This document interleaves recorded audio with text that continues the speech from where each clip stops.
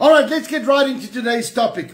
Today I want to deal with um, the, pro- uh, the prophecies of Jesus' coming. Isaiah chapter 52, 13 to 15 says this, Behold, my servant shall deal prudently. He shall be exalted and extolled and be very high. Just as many were astonished at you, so his visage was marred more than any man, and his form more than any of the sons of men. In other words, that he gets his physical being. It's a prophecy of Jesus on the cross. All right. And it's actually saying how bad it is that you will not recognize him as a person. The Bible says that he is marred. He's beaten up. His skin is torn and he is so badly um, uh, damaged in his physical body that it is more than anybody else ever before. The only thing that happens with Jesus on the cross is not one bone physically gets broken. Okay? And so, verse 15. So shall he sprinkle many nations. Kings shall shut their mouths at him. For what had not been told them, they shall see.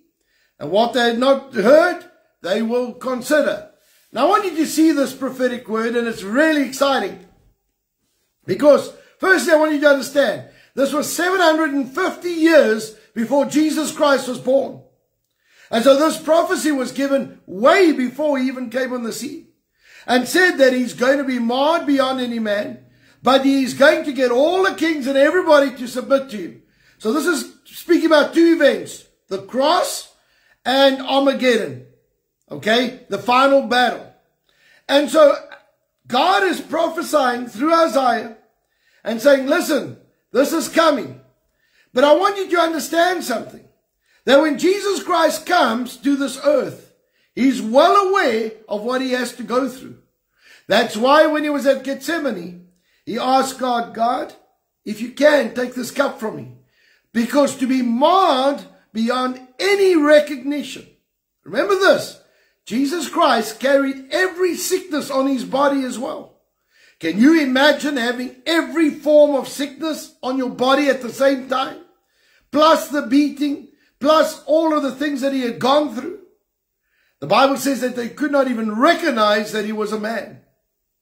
So I want you to see that they are prophesying well in advance. And Jesus Christ had to make that decision. So this morning, when we come around communion, I want you to understand, when Jesus Christ made that decision to die for you and I, he knew what he was in for. He knew what he had to do for us. He knew the price he had to pay. He knew the pain he had to endure. I want to say this. Jesus Christ loves you. Jesus Christ loves you. All right? He made a decision, a willful decision, to die on that cross, go through all the pain, go through all of the, the agony that he had to for you and I. And so this morning, when we come around the table, let us celebrate the fact that Jesus Christ came to this earth with a plan. Jesus Christ knew exactly what he had to do. But he did it because he loves you. And I want to close with this. You are worth it. You are worth it. Some of us might feel like we are not worth it. Some of us might feel that we are not worthy of something. I want to tell you, if you were the only person on this planet, Jesus Christ would have died for you. Because you are worth it. On the night that Jesus betrayed, he took bread and broke it. And he said that this is my body that was broken for you. Take in remembrance of me. He took the cup and he said, this is my blood that was shed for you. Take in remembrance of me. The body of Christ was broken for our physical, emotional healing. The blood of Christ was shed for our salvation, protection, and provision. So this morning, let us celebrate the fact that Jesus willfully chose the road to salvation for you and I. He willfully chose to be the sacrificial lamb for you and I. And he chose to carry every form of sin and sickness for you and I. Jesus Christ loves us. Jesus Christ loves you. I want you to repeat after me. Jesus Christ loves me. Jesus Christ loves me. Let that be a revelation today. Lord, we come before you. I ask you please to forgive us of any wrongdoing, any wrong thought, any wrong action, any wrong motive. I ask you please to wash us white as snow. But Lord, right now in the mighty name of Jesus, I thank you that you are going to bring us to the place of destiny and purpose. Jesus, I thank you for making that decision and dying on the cross for us and actually going through everything. And Lord, I thank you for coming to this planet and laying aside your deity, knowing what you had to go through. Lord, right now, I thank you that we'll get a revelation of your love for us and how much you actually care for us. Lord, thank you for coming to this planet to save us. In Jesus' name. And everybody said, Amen, Amen. All right, let's partake together.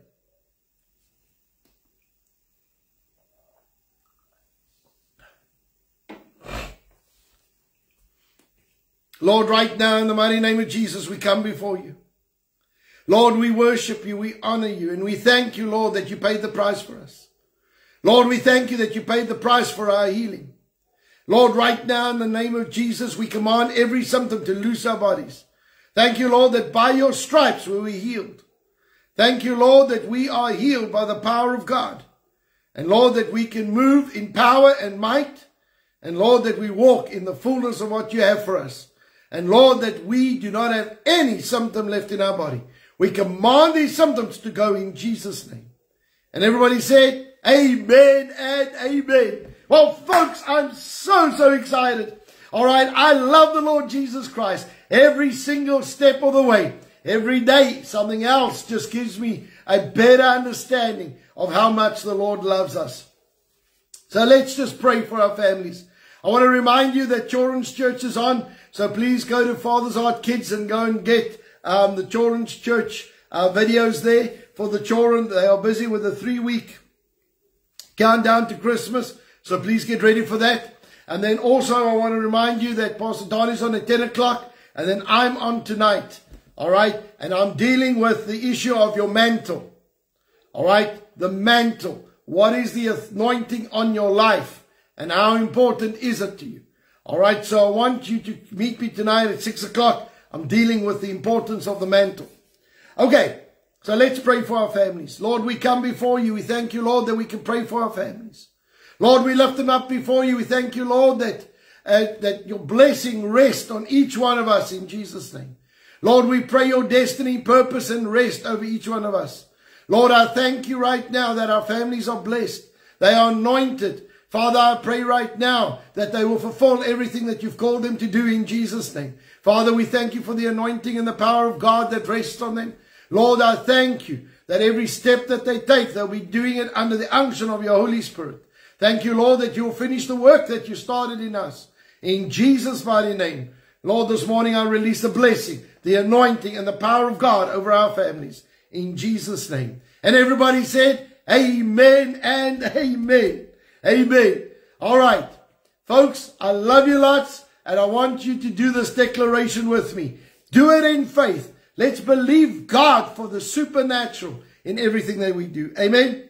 All right, let's go. In Jesus' name, I declare by faith that I walk in divine favor.